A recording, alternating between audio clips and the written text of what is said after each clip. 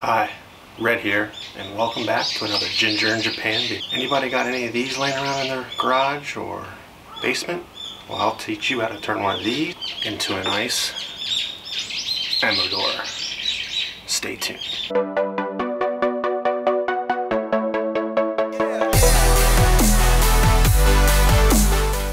And welcome back. And if you're new to my channel make sure you hit that subscribe button.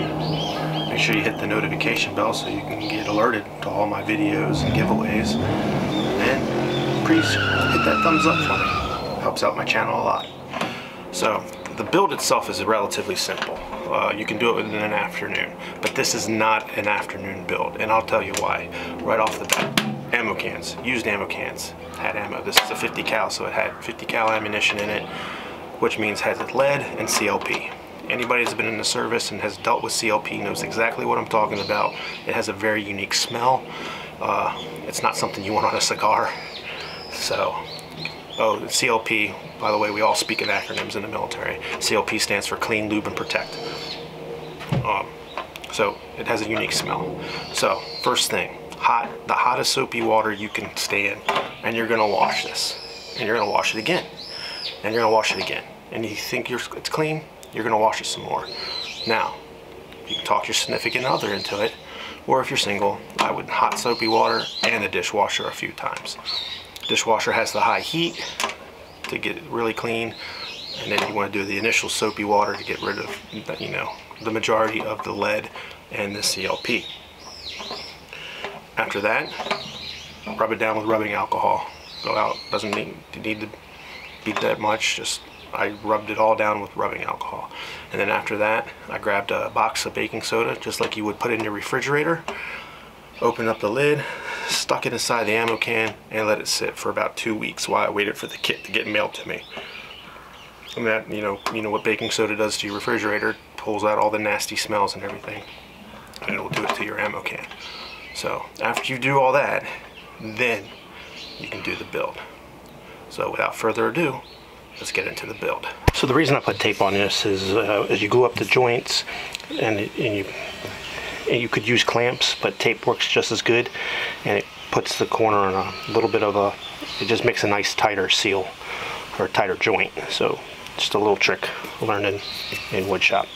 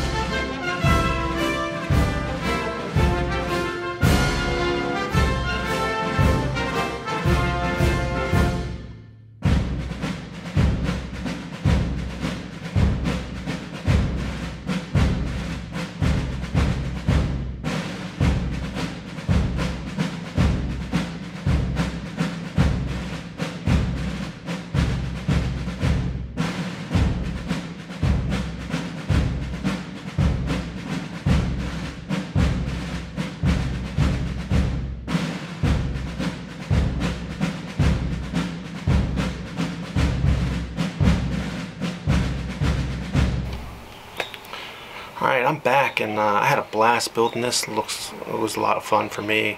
Uh, I, I, thoroughly always have and loved working with wood and everything. Spanish cedar smells amazing. Um, it takes two weeks to season your brand new Ammodor uh, with the Boveda packs. Uh, the first one that goes in is the 84% and then you maintain it with the 69%er. So I'm looking forward to that. Leave in the comments below. Is this something that you would be interested in building or is this something that you have built uh, or is there another trick of the trade that uh, I missed? Uh, look forward to seeing your comments. I reply to everyone. And as always, thanks for watching. Till next time.